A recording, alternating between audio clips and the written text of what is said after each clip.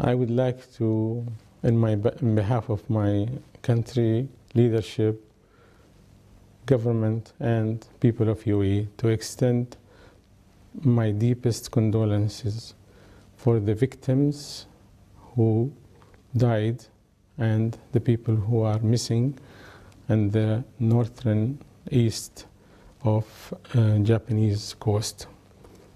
Due to the earthquake and the tsunami which came after the earthquake. Well, unfortunately, the disaster caused uh, more than 10,000 people dead and around 20,000 people are missing. And more than 16,000 houses were uh, completely destroyed and around 50,000 houses were damaged.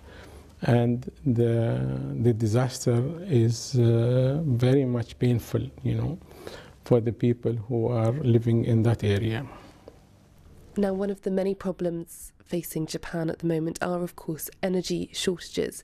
And as I understand it, Abu Dhabi will be increasing its gas exports to Japan in the near future. Correct. Actually, ADGAS supply, TEPCO, uh, Tokyo Electric uh, Power Company, with about uh, 5 million metric ton, ton, per year.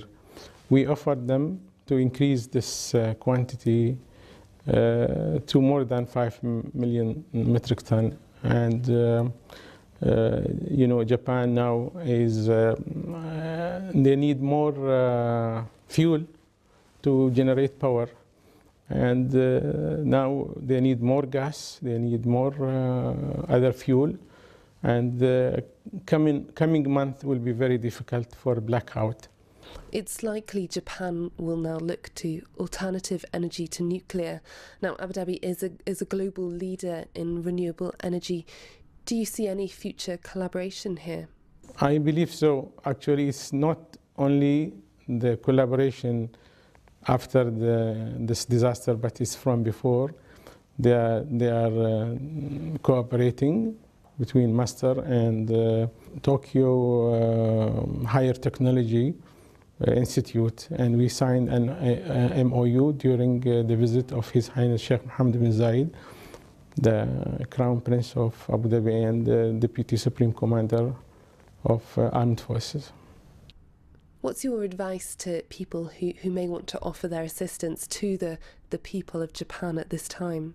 Well, I believe we should do that. They should uh, uh, give their donation through the Japanese uh, Red Cross uh, Society and uh, through UAE uh, Red Crescent Society.